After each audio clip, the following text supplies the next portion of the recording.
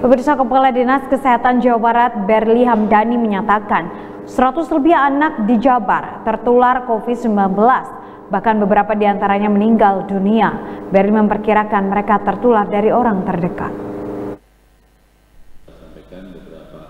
COVID-19 tidak hanya menyerang orang dewasa, bahkan setidaknya 134 anak di Jawa Barat pun tertular COVID-19. Selain itu, tiga di antaranya meninggal dunia. Menurut Kepala Dinas Kesehatan Jawa Barat Berli Hamdani, umumnya mereka tertular dari orang terdekat.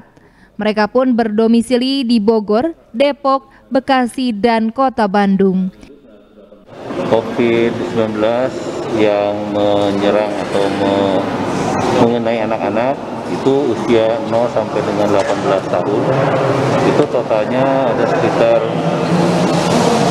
134 134 orang dengan 65 orang eh, laki-laki e, dan 69 orang perempuan. Kemudian dari kasus tersebut e, yang meninggal dua orang, eh, tiga orang usia satu tahun kurang dari satu tahun dengan usia e, 5 sampai 6 tahun. Setidaknya 1.851 anak di Indonesia telah tertular COVID-19.